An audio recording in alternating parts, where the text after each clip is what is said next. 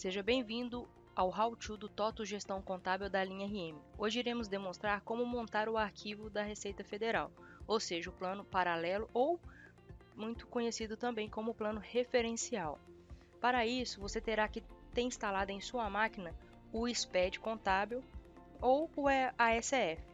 Esses arquivos são salvos nesse diretório: arquivos de programa, programas de SPED, SPED contábil, recursos, tabelas. Você está vendo aqui que contém vários arquivos TXT desde 2014. Verifique a descrição. SPED contábil 2014, né? Iremos pegar o mais recente, então vamos pegar o de 2020. Aqui iremos demonstrar dois arquivos TXT que vamos escolher, só que a empresa deverá verificar na documentação qual arquivo de acordo com a sua forma tributária ela deverá montar, ok? Aqui iremos pegar o L100A, iremos editar, vamos minimizar, iremos pegar também o L300A. Se você verificar aqui, o L300A começa com as contas de resultado e o L100A seria as contas de ativo.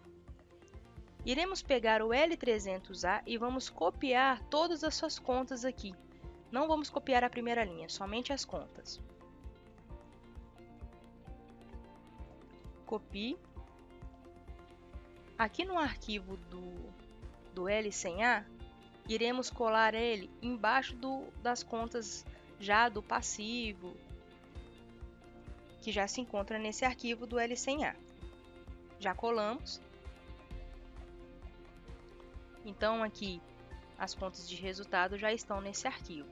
Agora vamos apenas substituir a primeira linha. Essa primeira linha já tem na nossa documentação também.